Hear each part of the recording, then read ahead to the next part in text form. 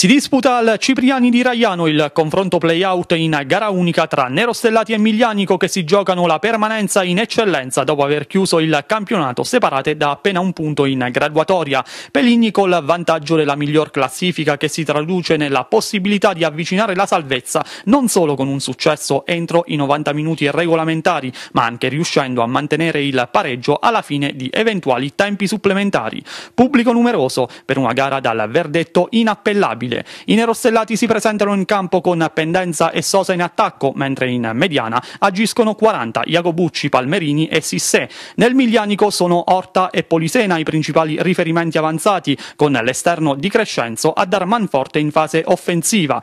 A Battista e Di Donato il compito di far filtro a centrocampo. Avvio di Marca Peligna con i nerostellati propositivi. Sulla conclusione di Bruno è attento Ferrara. Poco dopo è Pendenza a riprovarci senza la giusta precisione occasione per far male a un Miglianico che col passare dei minuti si fa più intraprendente. Prima è tempestiva la retroguardia pratolana a chiudere Polisena al momento del dunque e poi Amo interviene in due tempi sulla botta da fuori di Di Moglia. Squadre al riposo sul risultato di 0-0. All'inizio del secondo tempo il primo cambio del Miglianico con Mennillo che subentra a Di Crescenzo. Al 54 si sblocca il risultato. Alessandro Pendenza controlla il pallone e gonfia la rete per l'esultanza del numeroso pubblico peligno che saluta il vantaggio dei nerostellati.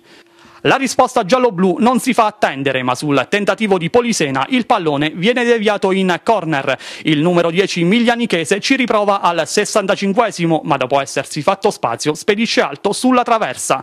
Nerostellati efficaci nel recupero palla e nel contrattacco. Al 70 Sisse riesce ad arrivare su un cross apparentemente lungo. Il pallone giunge a pendenza che con il suo diciottesimo gol stagionale fa esplodere il Cipriani per il 2-0 a tinte nerostellati stellate, seguito dalle proteste di un Miglianico che non si rassegna e prova a riaprire il match con un velenoso traversone di Grossi sventato dal numero uno pratolano Amo.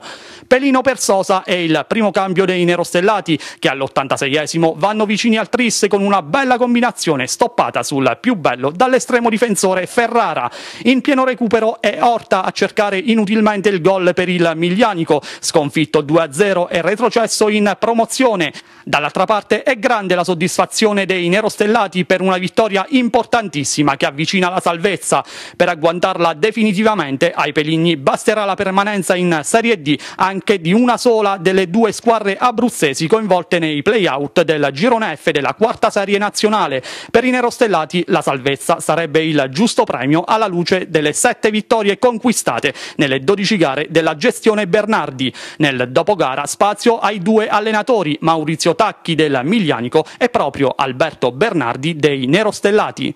Niente, che non abbiamo fatto risultato, però sull'impegno dei ragazzi non, non posso dare, dire niente. Poi, come dico sempre, gli episodi ci spostano la partita, il secondo gol è clamorosamente fallo di Sissé, è vero che stavamo perdendo, però ci teneva in partita fino all'ultimo, e invece lì c'è proprio eh, annientato nel senso che ci ha fatto perdere eh, l'opportunità di giocarci la partita fino alla fine. E non è la, la, prima volta, io non mi lamento mai, ma questo signore qui non siamo retrocessi oggi, ci ha fatto retrocedere a, ad Alba purtroppo, poi si chiede collaborazione, va bene così dai, non è per quello, merito ai nerostellati che hanno interpretato la, la partita nel migliore dei modi, hanno vinto, poi chi, chi vince ha sempre ragione. Bernardi, tanta soddisfazione al termine di questa gara importantissima vinta contro il Miglianico 2-0 che però oggi non vi fa festeggiare la salvezza. Bisognerà attendere il risultato delle abruzzesi sì. in Serie D. Sì, purtroppo, purtroppo dobbiamo ancora aspettare una settimana per vedere se se abbiamo fatto l'impresa oppure dobbiamo ancora giocarci l'ultima battaglia. Al di là di questo sono molto molto contento dell'atteggiamento della squadra, di come ha giocato la squadra oggi, perché in una partita da dentro fuori è difficile trovare la calma, trovare le soluzioni giuste. Devo dire che i ragazzi hanno dimostrato ampiamente di meritare, di meritare la categoria, insomma, quello che è stato prima del mio arrivo non lo so cosa sia successo, però poi da quando sono io alla guida della squadra i ragazzi hanno sempre dato, tranne in qualche occasione, insomma, però hanno sempre sempre dato, hanno dato tutto e oggi più che mai hanno dimostrato di, di mantenere la, la, categoria, di onorare la maglia, insomma, hanno, secondo me tutto il popolo pratolano è rimasto orgoglioso da questi ragazzi.